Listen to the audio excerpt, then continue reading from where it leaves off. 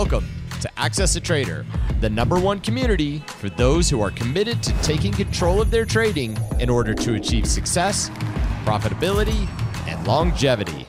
Thank you for joining us. Here's Dan Shapiro to help you find your edge, master your process, and own your future.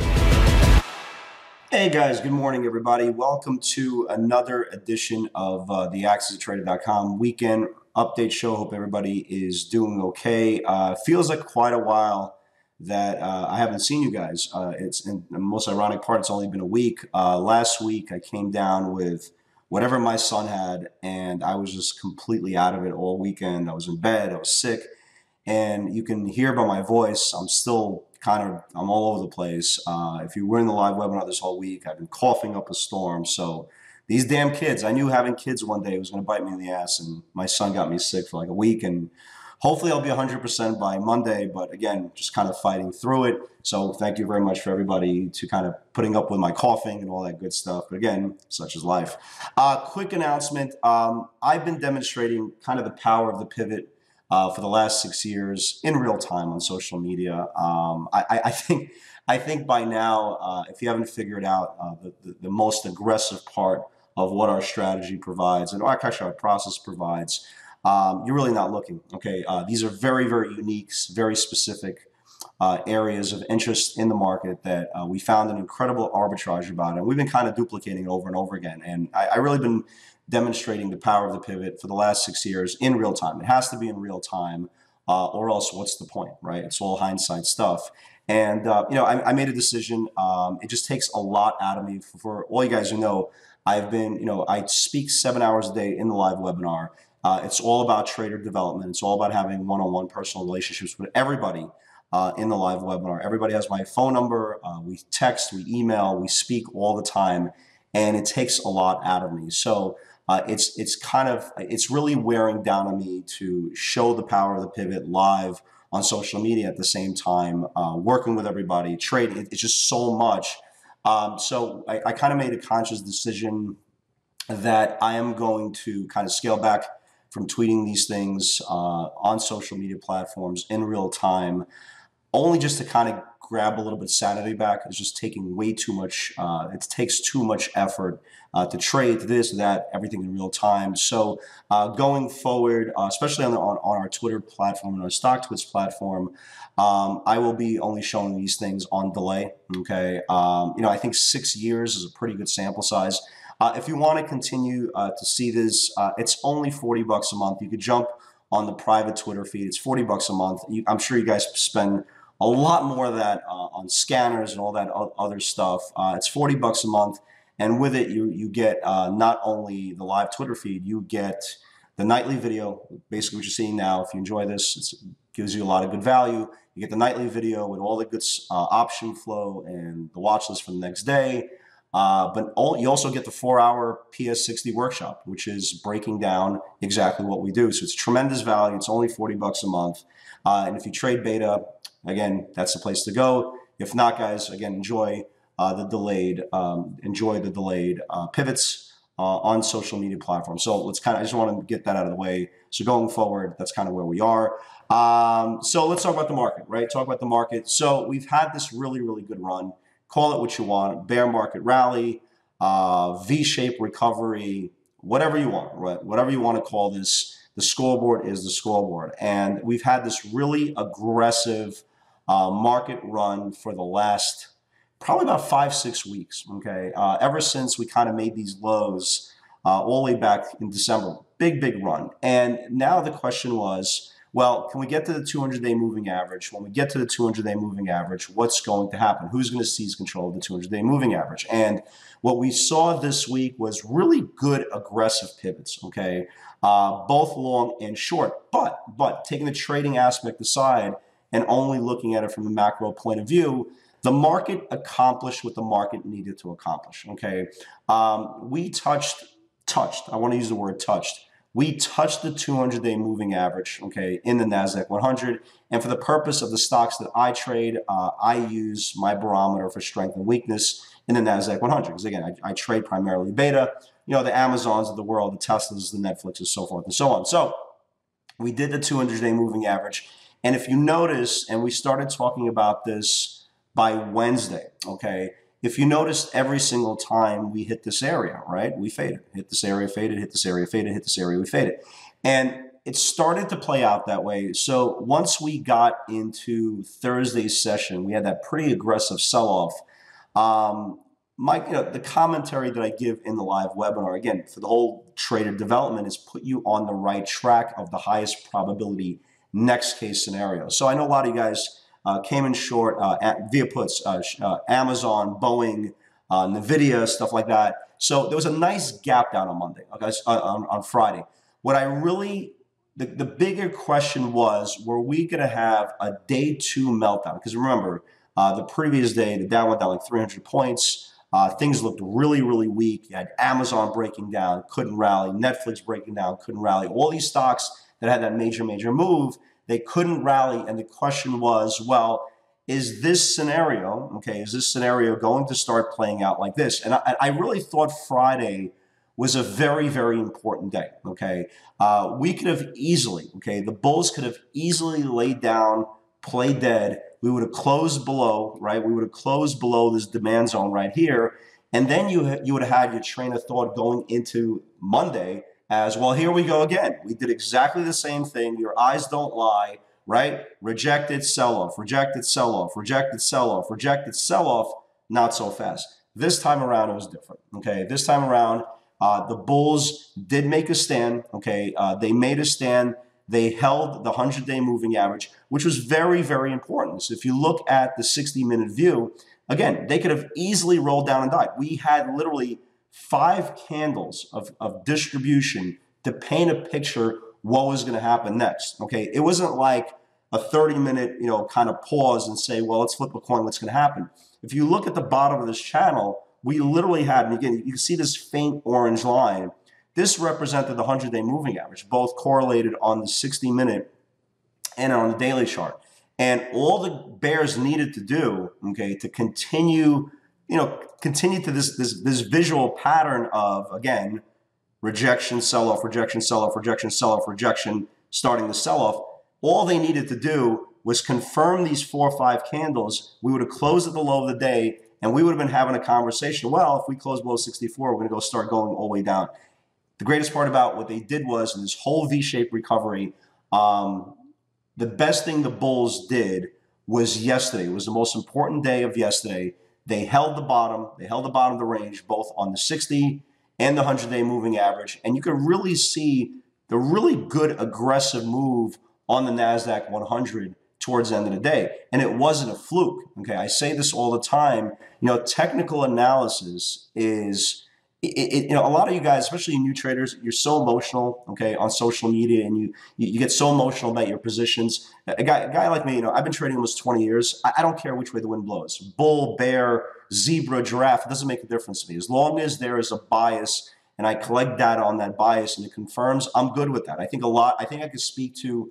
Uh, speak for a lot of professional traders been doing this for a long time. They feel exactly the same way. We don't get all caught up with well, Tesla needs to raise more money. Oh, Tesla has three wheels. Tesla has no steel. We don't care. Okay, we don't care. Where the sentiment goes, where the confirmation goes, that's where we go. So the, the word technical analysis, if you really think about it, right, if you really think about the concept of technical analysis, it, it's not it's not something for debate. Okay, it's pretty cut and dry. If you're trading for six months, a year, two years, maybe it's more of a broader stroke conversation for you. But if you're trading for many, many years, it's pretty cut and dry. Okay, I, I think the word and the term technical analysis for some reason has got lost in translation. There's a fine line, okay, where buyers will clean up sellers, where sellers will clean up buyers. Okay, there's no room for interpretation.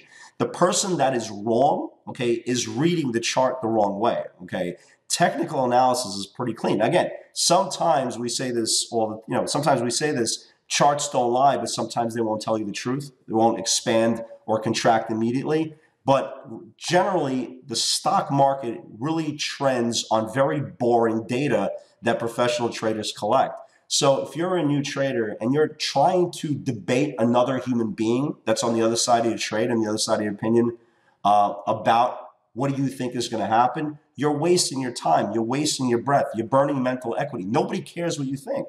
Right? That's the beautiful part about it is nobody cares what you think, right? It's like if you if I'm looking at a pivot on Tesla and I say to myself, man, there's four candles here. If it confirms to the upside, and you're turning around telling me that, that Tesla's a fraud, it's going to zero, you're wasting your time. Okay, you're wasting time. And oh, by the way, you're probably going to be wrong on the, on, on the other side of the pivot. So technical analysis is pretty concrete. There's no room for interpretation. For all you new traders, just understand that nobody needs to have a conversation which way you think a stock's going to go. Buyers are either going to clean up sellers or sellers are going to clean up buyers, and that directional bias will continue. So before you start jumping on somebody's uh, opinion, just really look at the chart. Stand back and look at the chart. And I'm not, I'm not saying this uh, to be an aggressive in any way. Okay, I'm just trying to save you burning a lot of mental equity. Okay, the stock market, again, I've said this repeatedly. The stock market doesn't care what we think. Okay, I am the king of the idiots. Okay, my opinion in the stock market doesn't matter. Okay, it's all about waiting for that green light, waiting for that confirmation.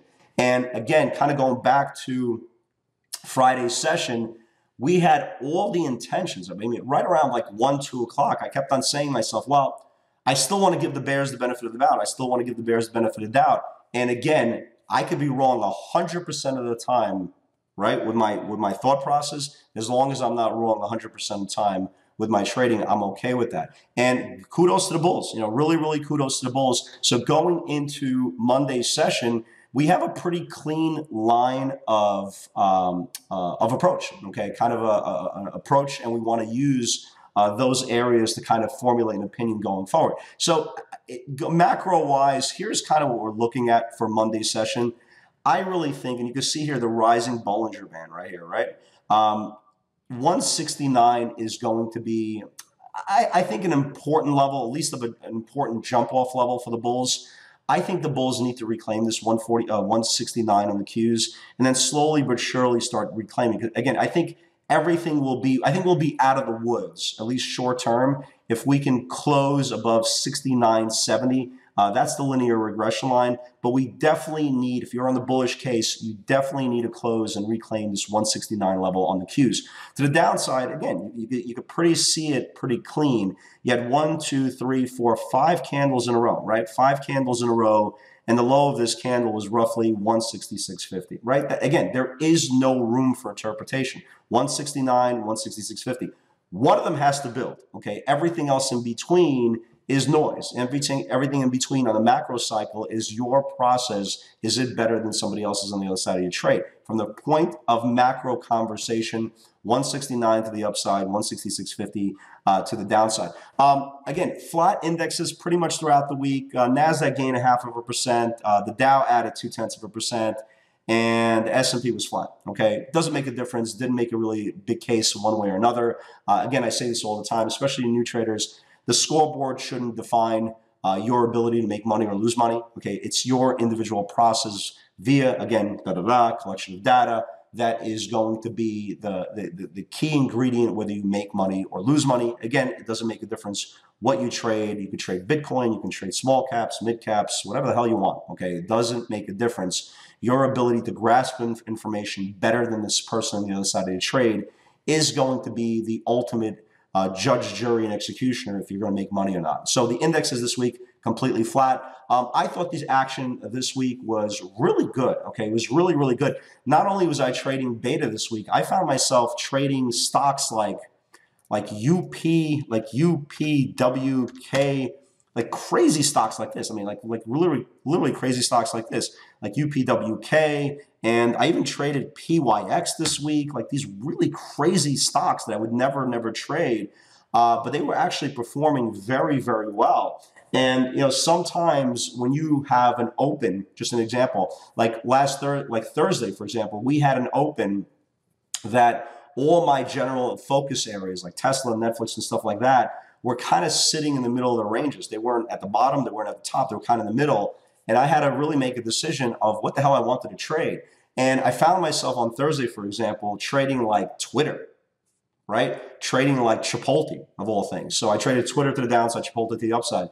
And sometimes, you know, when you are uh, a trader and your stocks are not focused or not being spotlighted, you have two choices. You can either trade second and third tier names. And again, for me, Twitter and Chipotle are second and third tier na- names because I usually don't trade them. Or you can sit it out. Again, I, I think the biggest difference between sitting on your hands and kind of making um, a, a, a conscious decision to not trade something when it's not you know in your sweet spot are two different things. Again, I, I think sitting on your hands for the most part is a very passive defensive way. Okay, it's basically screaming out lack of process. But if you're a professional trader and you don't see something that you love, that's something that you feel comfortable with, I think kind of moving yourself to the sidelines is a very, very mature thing. So again, as you get older and, and, and, and more mature in this game, you'll start to separate the two. So it's something that, again, screen time will always uh, be your friend and kind of guide you which way you want to go. But uh, I thought this this week was uh, very very solid. Uh, Friday, which was very kind of ironic.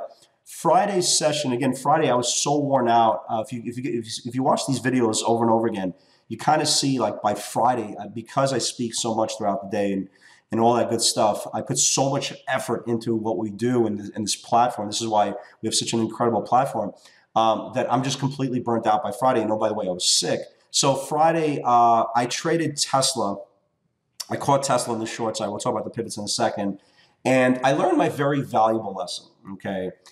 For all you guys who don't who know this phrase, and th- this phrase usually is associated with uh, small caps. Okay, and it's short sale restriction, right? SSR. When you hear a stock that's that's on SSR, uh, what basically means is the stock was down is down like 10%, right? 10% on the day, and you can't hit bids. You can't hit bids anymore. Okay, you need an uptick. Uh, you need an uptick to uh, to get short. Okay, and the problem with an uptick, right, after they clean up a seller, the problem with uptick is once you get an aggressive buyer, they can really, really squeeze you out. Okay, so FireEye, you know, FireEye, and again, it wasn't financial. There was no financial implications here whatsoever.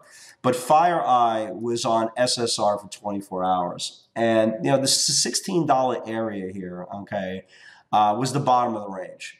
And the one thing that uh, you know, you keep on getting more information as you get older, and you kind of figure out where you want to play and what part of the playground you want to play. Do you want to play in the sandbox, and the swings, and the slide? I don't want to play anymore with these stupid SSRs. Okay, it's it's such a an, an incredibly aggressively mentally burning trade, and you get absolutely nowhere. Okay, um, and and it's and uh, uh for the exception of the pattern day trading rule that I literally learned what the hell that was like four years ago, five years ago. Okay, SSR could be the dumbest rule possible. So, in other words, it's okay to buy a stock of 400%, but if a stock is down 10%, you can't hit bids. Explain the rationale on that. It just doesn't make sense. But again, as we know, there's a lot of rules in trading that don't make sense. Okay, we get that. We play by the rules. We you know take the hand that's dealt to us, and it's our choice either to trade it or not to trade. Again, it's kind of going back to the conversation that I had a few minutes ago. So I, I, I learned a very important lesson. Um, I shorted this F F E Y E on Friday, right? I shorted on Friday. It goes down like 20 cents, right? And they just hold it up. They hold it up. They hold it up. They hold it up. They hold it up. I'm in the trade for like a half an hour, for, whatever the hell it was, half an hour, 40 minutes. Goes down like 20 cents. There's no, you, there's no selling pressure. There's absolutely no selling pressure. And ultimately, I get stopped out even on the trade, and the stock does absolutely nothing. So, uh, again, as we get more and more into this game, we figure out what we like, what we don't like. And I, you know, I, I don't think it's a big secret, especially a lot of you guys who trade stocks in the short side. You kind of know this. This is kind of new to me because usually I don't have a lot of big cap stocks that are on SSR, a lot of beta names that are on SSR. So I really learned, um, just it's nothing to do with financially, mentally, I really learned just to kind of leave these stocks alone until they get off of short sale restriction, leave them alone. More than important of losing money or as important of losing money in a trade, I think the lack of burning mental equity is a lot better. And oh, by the way, the fact that I was short FireEye, I missed a really, really strong trade on Amazon. So not only does it affect you financially, kind of taking your attention away from something else, uh, but you are burning at mental equity. So again, kind of figure out where your sweet spot is no matter what you trade and try to avoid the things that are going to um, kind of derail you from the big picture. So uh, Friday was a, a, pretty solid session. Again, I was sick. You can hear my voice. I'm still sick. Um, I traded FireEye. I broke even on it. And I caught Tesla which was fine. Uh, let's talk about the pivots. Uh, let's talk about the individual pivots. Um, Friday's session, uh, you know, if you guys have been following me for a while, you kind of know that Fridays, since, again, I can't really explain why, but Fridays since like last May have been really phenomenal trading sessions. I can't explain to you why, but they have been, okay? And they've been very, very aggressive, and everything has been great and all that good stuff. Some reason Friday, they gave pretty good trades but the problem with that was they were all spread apart, and by the time everything was said and done, was it's like I completely lost interest, and I was just so burnt out I didn't care. Uh, but again, the greatest thing about these pivots are, folks, I don't need to be in the trade with you. You don't need to be a friend. Nobody needs to hold your hand. These are organic vehicles then where supply gets confirmed, stocks will go higher. When demand gets confirmed, things going to go lower. And the greatest part about it is you don't need anybody in this, these trades with you. Okay, this is why the whole alert service bullshit. Excuse my French. That's what it is. But you know, again, you don't need a thousand people to buy your stock. You don't need to be the schmuck holding the bag. These are areas of organic order flow, institutional buying pressure when they get confirmed well, those algos that everybody hates, those are the reason why these things put up such big moves. So uh, Mattel, and again, unfortunately, I, well, not unfortunately, I was trading Tesla as Mattel was um, uh, as as Mattel was triggering, but Tesla, uh, excuse me, Mattel. Fifteen dollars if it can get above can spike again. It was a pretty basic setup, um, pretty basic setup indeed. Uh, here's the fifteen dollars right here. You know, for fourteen ninety five. Uh, once it built above 15, you can see a move uh, to 16 bucks. A dollar move on a $15 stock is a lot. Okay, is a lot. Um, yeah, Amazon. Again, congratulations to you guys who caught Amazon. Uh, I know a lot of you guys were long puts uh, overnight. Uh, I think the stock closed around 16.15. It opened up uh, in the 1580s. I know a lot of you guys did very, very well in this trade. And again, here's a perfect example of FireEye, right? A FireEye. If it builds below support, can finally get hit. Yeah, this was 20 cents. Big F you to me as Amazon opening range low below 14, uh, below uh, 15, uh, 1582 went down 10. So I missed the 10 point move in Amazon to get stopped out, break even 45 minutes later on, on fire. Again, sometimes the luck of the draw. Before you guys took the trade, 1590 broke below, uh, went down to like 1560s. I know Andrew, I think Andrew said he had his biggest day of the year. I think uh, so. Great job there. I know a lot of guys caught this trade very, very well. Uh, good job there. Um, yeah, so here, here's here's the trade right here. Uh, Tesla very very close to getting smashed. Needs to confirm huge spot. Um, so here's the Tesla trade. Uh, here was the Tesla trade. 303 was uh, the previous day's low. 301 was macro. So what I did was I used the second entry. Uh, again, for all you guys who are joining us on the in the live webinar uh, or on the Twitter feed. So basically, what we do now, you can see this off uh, the workshop that you get part of your uh, membership. Uh, what I use now is second entry. So I let it go through 303. Okay, I let it go through 303. Um, I let it put in a new low, rallied back. Once it broke that new low, that was you know that was the entry. And if you look at Tesla, it gave a pretty good move. It really did. It really gave a pretty good move here. So here was 303. Kind of here was 303 yesterday's low. Here was 301, the macro view. And once it broke, it went down to like 298 or so. Um, I got short in the 302s. 302s, yeah, 302s. Um, the one thing that was crazy, I really thought that second move, and I wanted to reshort Tesla on that 299 pivot that never came. Okay. And the most amazing part about that was it kind of stopped in midair. And again, I, I, know the, the Qs got stronger and everything got stronger, but I really, really thought, and again, this is where thinking compared to reality, right? My reality versus the actual reality came into play. Again, I was wrong on the possible next move, but it didn't cost me any money. So very, very odd, but I definitely want to keep an eye on Tesla for next week. Um, you know, again, I, I want to see how it handles this 10-day moving average if it gets kind of uh, if it gets rejected off that area.